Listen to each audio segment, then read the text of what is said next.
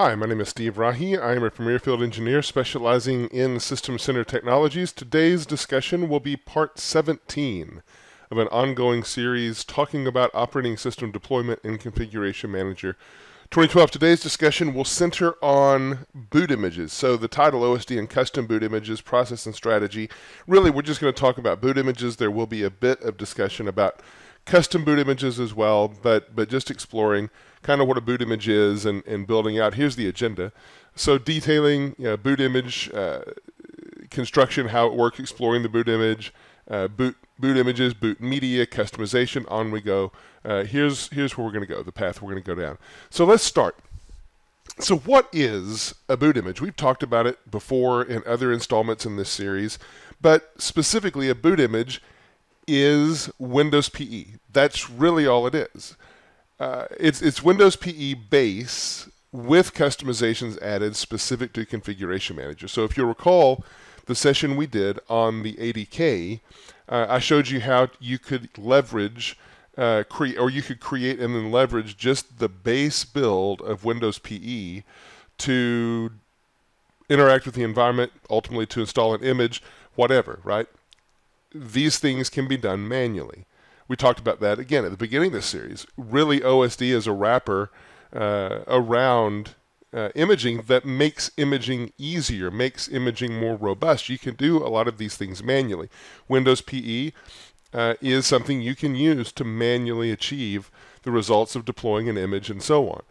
We customize it in OSD to allow that Windows PE environment to be able to access the OSD infrastructure and deploy images from that OSD infrastructure, right? But at the base, the config manager boot image is just Windows PE customized. Windows PE, very important to the imaging process, very key, used in all types of imaging, bare metal, uh, re-image. Uh, if the very first phase of imaging, really, except in re-image, is to get into Windows PE. In a re-image scenario, uh, the very first part there might be to do some work in the existing OS, capture user state, whatever, but then immediately we reboot into uh, Windows PE because in Windows PE we have uh, an OS running in RAM. We're not relying on the hard disk. The hard disk is not locked. It makes it available for uh, partitioning, for formatting, for uh, injecting different material, whatever it is, uh, full access to the hard drive, right?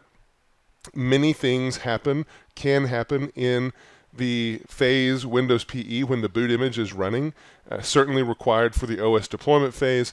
Uh, you can inject changes to the OS while you're in the Windows PE phase so that those changes are there before the system ever boots up. Again, kind of going through some summary things that we've seen. You know, certainly adding drivers. Uh, in some cases, you could do software updates if you choose the right options. Number of things that are important in the Windows PE phase, right? So when again, Windows PE boot image kind of interchangeable. Um, boot image is more than Windows PE, but at the core, it is Windows PE, uh, as we'll see. All right. So that said, let's actually look at the Windows PE, the I'm sorry, the boot image um, source directory, an example boot image uh, source directory. So uh, detailed here on the screen, there's actually three files. There's the boot.wim. This is the raw Windows PE directly from the ADK. It is not customized for Config Manager. Then we have the bootwim.old, which is the previous version of Windows PE that we keep just as a backup. And then finally, you'll see boot.packageid.wim. This is the version of Windows PE that we use during imaging we add very you know uh, very specific things to this particular boot image so, that are, are specific to config manager like variables uh, mp settings uh, configurations of, of site versus dynamic uh, mode for looking up mps and so on. Best way to really see this is to see it. So let me pull in the environment for a minute. And if we look under operating system deployment and look at boot images if we look at the properties here and look at the source directory path, so data source, here's the path.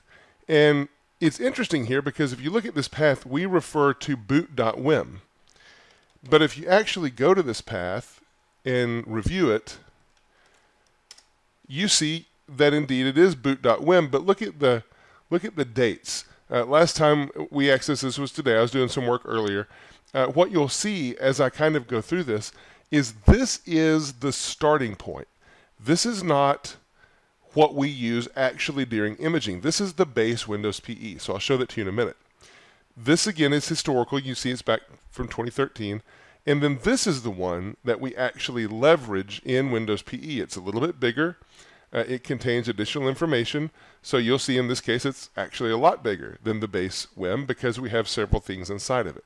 Right? So we'll explore these uh, in a minute. So while I'm in here in the boot image properties, there's a number of customizations I can make here. Uh, I could say uh, that I want to use command prompt support. I want to specify a pre-start command, background images. I have optional components here that I've added, PowerShell.net, and so on. I could add more. The point is, whenever you make changes in this interface, it actually recompiles, if you will, the bootwim to add those changes, right? Um, there are some changes that you can't make from the GUI. Uh, you could uh, and inject those manually into the WIM and so on, right? Using the Windows PE, I'm sorry, the uh, ADK commands. So let's actually uh, do that for a minute. Before we get there, I'll pull that back out for a second. So the the boot image GUI actually triggers the uh, the update to the boot.packageid.wim uh, we inject those changes automatically behind the scenes. Again, we're automating what you could do manually by uh, by running DISM. So uh, that's a question that you might have in your mind. If you need to customize the boot WIM to add files to it, to add packages to it, to uh, do whatever you want to it, do you have to use the DISM tool, which I'm going to show in a minute, to actually unpack that WIM make the changes and then save it back off? The answer is no, you don't have to. Uh, you could, in some cases, use uh, just simply DISM to add the package on the fly, right? It really is understanding the tools, what they can do, and choosing the best option. So I'm going to show you here just the process of mounting the WIM files, exploring the WIM files a little bit. The real purpose of this demo is to show you exactly how we leverage these boot WIMs and so on. So what I'm going to do is pull the environment back in, and I'm going to go and do a command prompt. A little bit of typing here. So uh, what I want to do, I have a couple of directories where I can mount some images. I want to show them uh, to you side by side. So I'm going to use DISM to mount my, uh, my first boot WIM.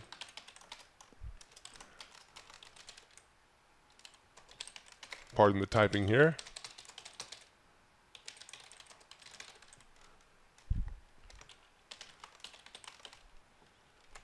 So this is the path to the uh, bootwim that was the source directory inside the properties of the x64 bootwim. I'm going to choose that I want index 1 for this image. And the mount dir is going to be c colon backslash mount. And then it'll go out and mount that directory. All right. So um, then I want to take the specific one that has the package ID in it. and I want to mount that. So uh, as soon as we're done here, I'll do that. Okay. So the only change here really is I want CAS 0005, uh, one more zero, dot WIM, and then I want uh, to change the directory here to uh, mount updated WIM. Uh, updated, that would help, okay. So, so mounting that. Now, what I've done is I've just put these two where I can look at them side by side. So I want to first start with mount and then I want to compare it side by side with the other one. So mount updated. So if I pull these over here side by side, you'll notice pretty immediately that just in the directory structure, there is one addition, right? On the left, we have five folders. On the right, we have six. And so if we explore these, though, you'll see some differences. So on the left, we'll just start at program files. Look at it not a, not a lot in here, just common files and so on. But if you look on the right, remember this is the the specific uh, modified uh, boot WIM with the CAS 0005 in it. Inside here, you saw in the uh, properties of the boot WIM that I'd added Windows PowerShell. Well, here you see uh, structure for Windows PowerShell added to the Config Manager customized version of the boot. Here under Program Files x86, we see that we have .NET right? Added, you saw that I added that in the GUI. Uh, if we look under um, these other folders, we're not going to see a lot, but you notice the uh, SMS here, SMS folder. So I don't have it over here. I do have it over here because we're specifically customizing this boot WIM for use in the config manager environment to hook into the config manager environment. We need binaries to be able to do that. So for example, if I look at my x86 folder, uh, you'll see different files in here that are interesting. CM trace is embedded uh, in the boot WIM whenever we customize it. We have a number of OSD uh, executables, some DLLs, different things that work with different steps. Here's the setup hook uh, and, and such that we need. We have some INIs, the boot shell uh, .ini, and, uh, and so on, right? Okay, so that's just showing side by side. Now, so let me actually get rid of these and unmount them. Um, okay, so to unmount those, it's just going to be, again, DISM. So unmount WIM this time, and then mount dir, colon, C colon, backslash mount, and here, discard. So let me pause here for a minute. So I mentioned before I started mounting these WIMs that if you need to modify the WIM, you have really three choices. One is use the GUI.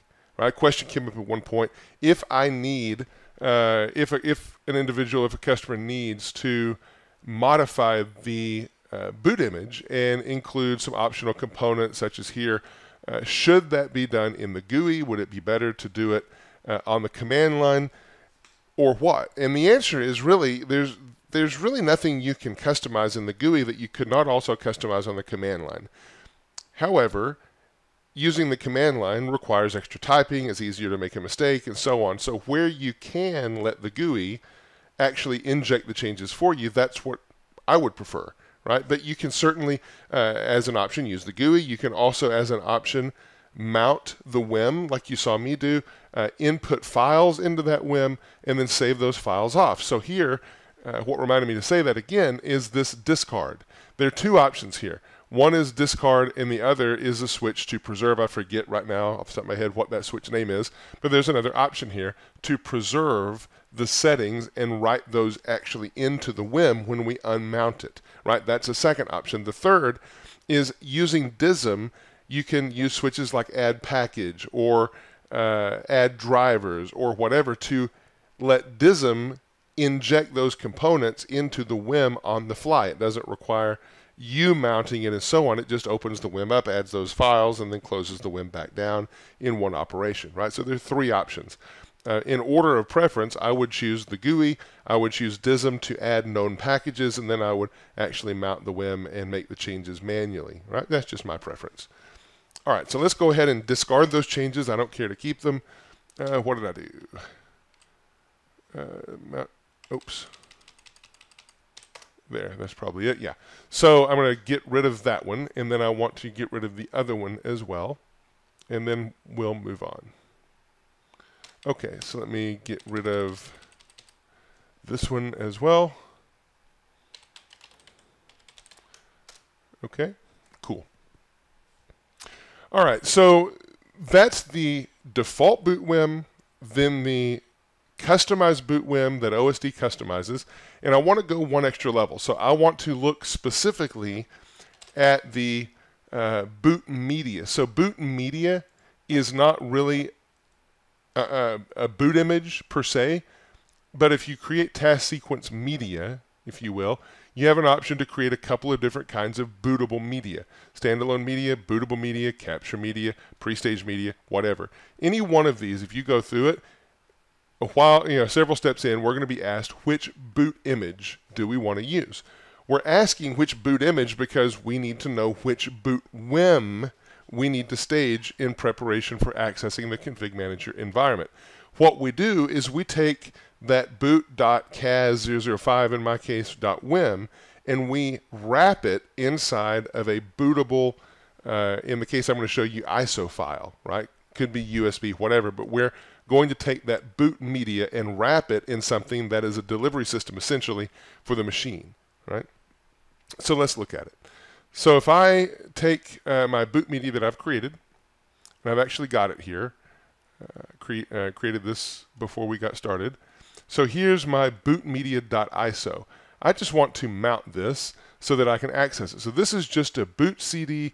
It has some customizations for config manager. It has the boot wim, which this is interesting because the name of this is boot.wim.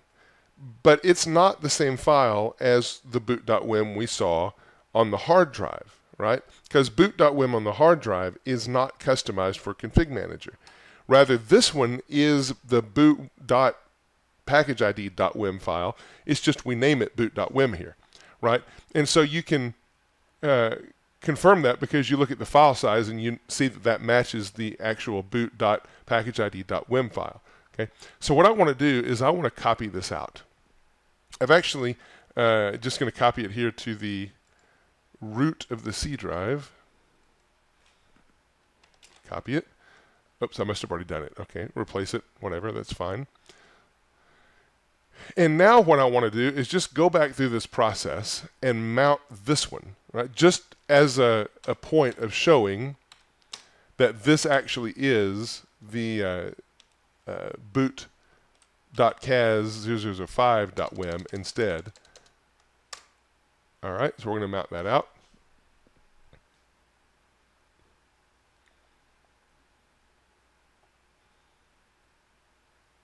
Okay, mount updated WIM. Let's go in there. Almost done, but uh, just in a second you'll uh, see.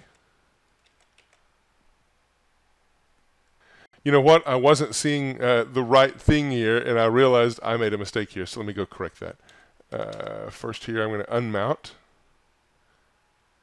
there. So what I did is notice the path that I used. I just referred back to the original boot.wim. I don't want to do that. I meant to do it at the root of the C drive, which is where I copied the boot WIM. So no big surprise. The first time I didn't actually see what I expected over here in the window, but I will uh, next time I do this. So all right, let's uh, let's run through this again real quick and mount it. Okay, so I'm going to mount WIM here. I'm going to respecify and shorten the path to the root of the C drive. That's what I want to do. Now, uh, what do I do? File.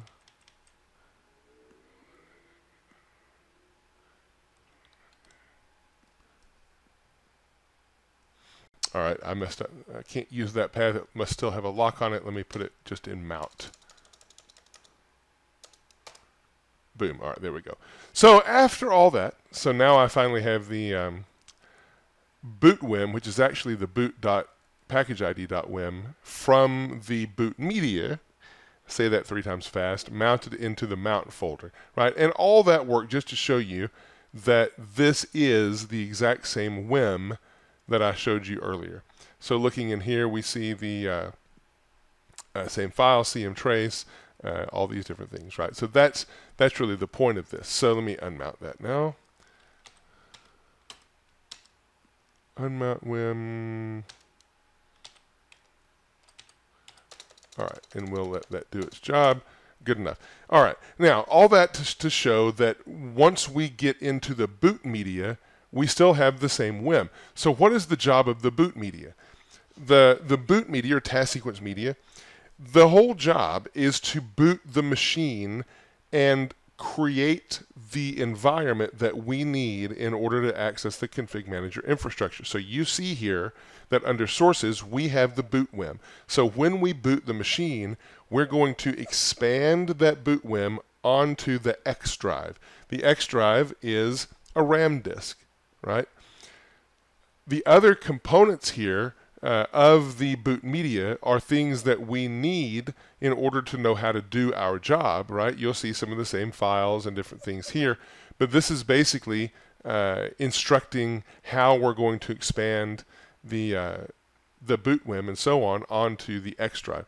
In fact, to say it another way, once we boot from boot media, and once PE is running, you can take out boot media. It's not going to hurt anything uh, because we're now running totally off of that WIM that we created, and uh, it's in memory, right? So let's let's actually do that real quick. So I'm going to take uh, this machine that I have the boot ISO mounted to. So if I look at settings, uh, here's my boot media.iso. That's what's going to boot.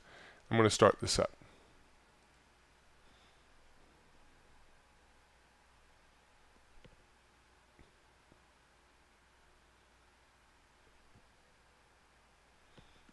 Alright, I'm going to choose to boot from the DVD. I'm not going to let this go very far, just far enough to load PE and then show you.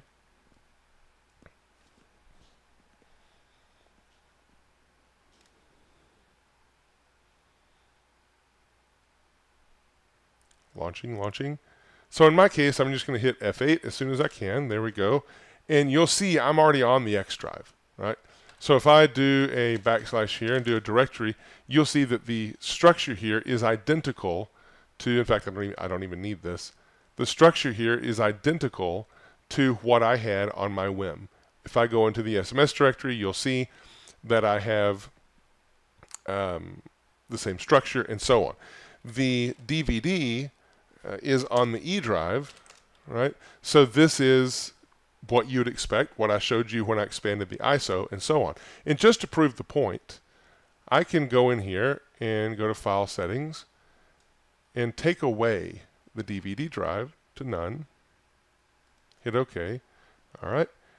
And applying the changes.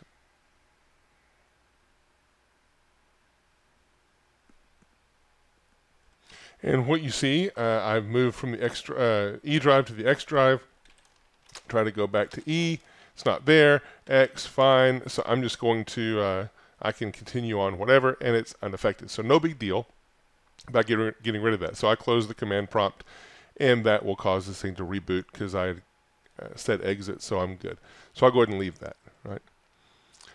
All right, so pull the environment out. Again, so I kind of jumped ahead a little bit talking about the boot image and the boot media just to go through it again. So the boot WIM does equal WinPE. They are the same. Those two terms kind of are interchangeable. The boot WIM is simply WinPE modified.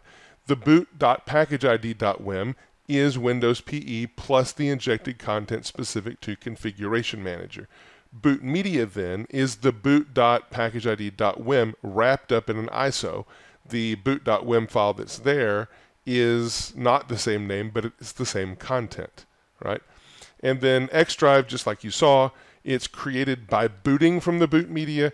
The binaries on the boot media know how to create that X drive, know how to expand the WIM onto that X drive, and then the contents of the X drive are exactly the contents of the boot.packageid.wim uh, loaded into RAM here, and then that whole boot media thing just showing it to you and so on, how the structure of that works, right? All right. So why would we customize boot images? What's the point, right? We have the default boot images. Why would we want to customize uh, the boot uh, the boot images. So a couple of reasons. Here's a few examples. So one thing you might want to do is increase the verbosity of the task sequence log. If you want to do that, then one of the ways that you would have to do it is to tweak the boot image. There's some files in there, some additions you'll make. I'll show you how to do that in an upcoming session when we talk about troubleshooting. But that's one reason. And, uh, and, and you would want to do that uh, directly through editing the boot image and so on. Add custom content to the boot process.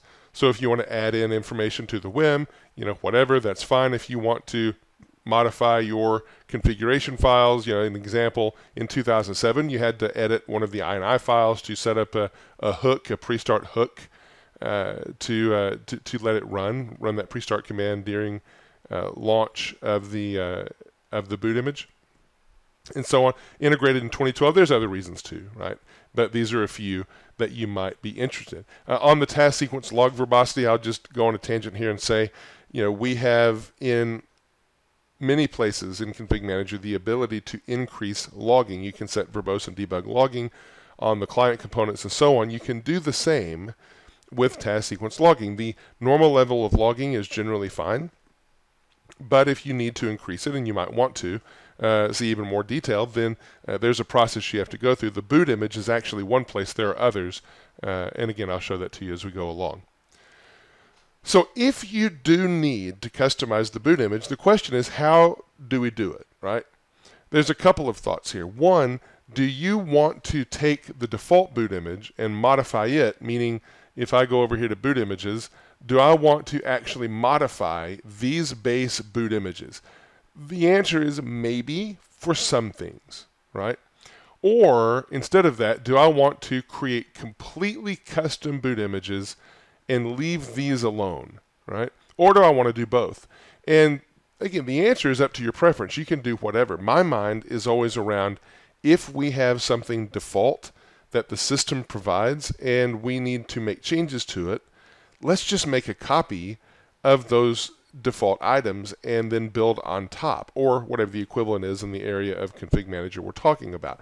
So in my case, I would really prefer not to modify the default boot WIMs at all, right? Uh, you see in my case there's uh, the command switch and a couple of components are added to it. So uh, even as I say that in my lab, I'm not living by that. But in production, for sure, I prefer to leave the default boot WIMs alone and then add customization in a truly custom boot image. And maybe not even use your default boot images in the environment. Maybe they're just there as a starting point, right? So how do you go about actually, if you want to create a custom boot image, how do you add a custom boot image? Well, there's a couple of ways. One, you can uh, go to the ADK directly. You can create a brand new Windows PE uh, default image and then add it to the console and start to customize it from there. That's one way. Uh, kind of went through that whenever we talked about the ADK in a previous session. The other way, and frankly the easier way, is to just copy the base boot WIM from the existing source path and import it, right? We already talked about the customization options, how you can use uh, the properties in the GUI to actually modify the boot image, how you can use DISM, how you can mount the WIM, and then make customizations. So let me show you how easy it is to add the boot WIM or to add a custom boot WIM. So what I'm going to do is I'm just going to go harvest the existing boot WIM from, uh, from the source directory. So let me go to the config manager source directory for my boot WIM. All right, and I'm just going to grab this one. So we know that this is the base boot WIM custom, uh, no custom settings at all, just plain vanilla PE. Oops, didn't mean to do that. I meant to do copy. And now what I'm going to do is just go back to the root of C. I have my package uh, source files here, and then I have a place for custom boot image. I'm just going to copy this in, right? Easy enough.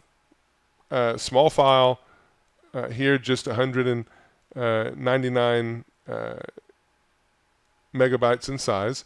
And so I'm going to take this and import it into Config Manager and then see what happens. So I'm just going to add a boot image. I'm going to tell it the path. So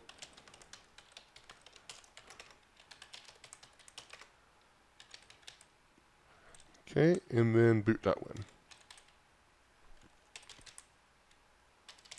All right, and then once we know that, we can see that we've actually got the right path because it shows us the boot image. Next, uh, give it a name if we want, so I'll just leave it default, boot, and off we go. And now this wizard will take a minute to actually work. Why? Because this is not going to take the default boot WIM. We are going to take the default boot WIM inject the configuration manager's specific customizations into it, and then save it off in the boot.packageid.wim format. That is really, really important to understand, right? And we'll talk about why it's important to understand in an upcoming slide. But just see it here and understand that it's a really important uh, thing to understand that we, even importing a base boot WIM, will add our customizations to it. It's just part of the process of importing, right? And you notice that it's a little bit bigger. The little bit bigger is to accommodate the extra components we add. Uh, and so you see now it's uh, CAS000D5 is the name or the package ID, and off we go. And now the uh, the wizard is finished.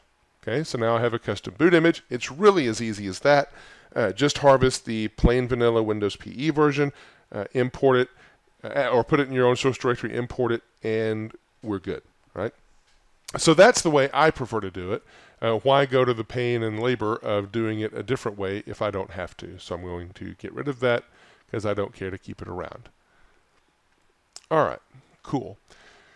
So winding down here, right? So uh, working with down level boot images. So first of all, what are down level boot images? So in Config Manager, in the different versions of Config Manager, we have taken dependencies on different versions of the ADK. So in each version of the ADK, there will be a version of PE specific to that version of the ADK. So in Config Manager 2012 R2, WinPE5 is the current flavor. In the ADK that went along with Config Manager RTM, then we had Windows PE 3. And then we put SP1 in, we had Windows PE 4, right? As we move forward in ADK version, as we move forward in Windows PE version, there are certain sets of operating systems that we support and certain sets of operating systems that we don't, right? So, for example, in Windows PE 5, which is the one that we have in Config Manager 2012 R2, we only support Windows 7 forward, as I recall. I have to go look at the matrix to be sure, but we only support Windows 7 forward, imaging Windows 7 forward. We can, uh, there's a couple of tangents and, and twist off of that, but the point is uh, Windows 7 forward is our base. So you can't use PE5 to image Windows XP or Server 2003. Hopefully, nobody's doing that anyway now. But if you had a need to, you couldn't. You also can't do uh, imaging of Windows Server 2008 with PE5, right? Some people uh, might still have a need to put out Windows Server 2008 for whatever reason. so if you need to support imaging of a version of Windows that we don't support in the current boot image, then you have no choice. You have to use a down level boot image. So the strategy with that usually is that uh, in one example, you know that I, I, know of, you know, a customer needed to deploy XP still, so they needed Windows PE 3 to be able to do that. That again is the version that comes along with Config Manager 2012 RTM. So to interact with to customize that boot WIM, they had to maintain uh, a virtual machine in their case with Config Manager 2012 RTM on it. The sole purpose of that was to have the GUI access and so on to be able to modify PE3, to be able to set the options like uh, command prompt and so on. So if you have a down level version of PE that you import, you can certainly do that. If you have a boot WIM that is PE4, PE3, something down level from where you are right now, you can import that no problem. All you have to do is uh, what I just did, uh, import or add boot image. We will add it. The challenge is because it's down level, you will not see the customization options. You won't have the ability to customize here. You won't have the ability to customize here, right? So if you need that ability to customize at that level, you have that's why you have to maintain a config manager infrastructure that matches that version of PE or you have to do the customizations manually. Right? Either way, uh, you have to do special management of that down level boot WIM. Now, when it comes time to import that down level boot WIM using the right click add boot image, right, we will import that boot WIM and just like you saw a minute ago, we will open up that boot WIM and we will add the config manager specific components to that boot WIM even though it's down level and then we will close it up. So at the import level, we will inject the config manager pieces into it. It's just once the boot WIM is loaded, you can't modify it further from that point, uh, at least through the UI. Right? Hope that makes sense. Okay. So in rare cases, you might uh, you might need to uh, uh support down level boot images. Hopefully not anymore now, right? And and so on. All right. So that said, let's let's wrap this thing up. The last thing I want to mention here uh, are some of the key changes. Actually, the single key change in R2 for boot images. So you saw how, as I import a boot image, we'll go in and inject specific config manager components into that boot WIM, and then it's good to go for using in config manager. we made a change in Config Manager 2012 R2. And that specific change was that we renamed the variable for the network access account. All right? Not a big deal as long as you're using R2. Boot images and such, it's all there for you uh, without problem. But what if you have some of the custom boot images that were imported from a previous environment? Maybe you have a Windows PE 3 boot image that you've imported into your environment and you need to still be able to use. If that's the case, that PE 3.0 WIM is built using uh, RTM code. And so whenever we prepared that boot WIM, we injected the RTM environment into it. That RTM environment uses the old network access account variable name, and once you try to use that now in R2, it will fail because R2 expects the updated network access account variable name. It's really easy to fix this. So really just re-importing the boot WIM will fix it because at that import, as you've seen, we'll open up that boot WIM, inject the new R2 environment into it, and close it back up. And that action alone will update the variable names so that it then will work with the Config Manager 2012 R2 environment. All right. All right, good enough. So that's the tour of boot images. We can certainly talk about it a little bit more, but hopefully that gives a good flavor of it. We'll wrap this session for now, and we will catch you in session 18.